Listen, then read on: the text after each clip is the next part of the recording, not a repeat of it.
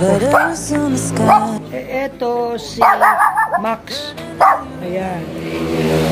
Hello, Max. Hello, Max. Anak. Upo ka dito. Para ikaw ang tingnan niya. Upo, upo. Upo dyan. Upo dyan. Dito. Hmm, ayan. Si Max. Galit sa ibang tao, no? Ah, galit siya. Bakit naman nagagalit ka kasi sa akin? Ah, anong pangalan mo? Ha? Hindi ka naman inaano. Gagalit ka ba o hindi? Anong pangalan mo? Anong pangalan niya, mahal? Anong pangalan niya? Ha? Max. Oo, ang Max. Hindi naman kita inaaway. Ba't mo ko tinatawalan? Pag hinawakan ko ba ito, di niya ako kakagatin? Mo ito. Max, huwag ka naman.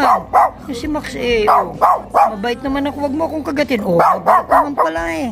Oh, ang amo nito si Mary. Oh, ayan. Andito yung anak niya. Pero di ko muna kinunan. Oh, kunan ko kaya. Ipapalabas ko ito sa channel ko eh. Gusto mo, sumama ka?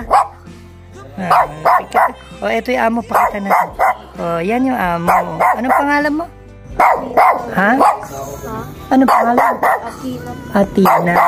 Olpindo. Ah, Esteban ang mama niya. Oh, eto.